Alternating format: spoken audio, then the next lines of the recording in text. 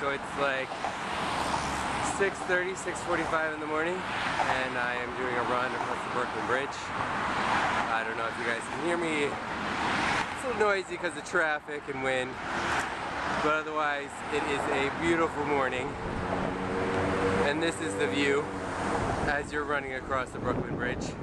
This is like some double, double rainbow kind of shit. This is pretty inspiring.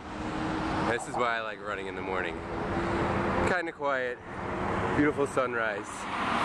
Anyway, I'm only a mile and a half into six miles, and it's probably best not to stop this long, but I'll see you guys in a bit.